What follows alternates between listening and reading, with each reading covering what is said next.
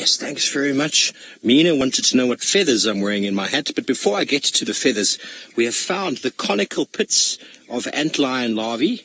Have a look at that. That is created by the very small and very space-age looking creature that lives inside. So what happens exactly, and the activity normally is in the morning, is an ant will fall in here, and the larvae is right in the bottom there. It's a very strange looking creature.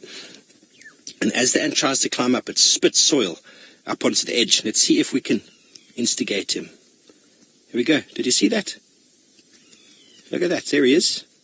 He's busy spitting. He thinks he's caught an ant.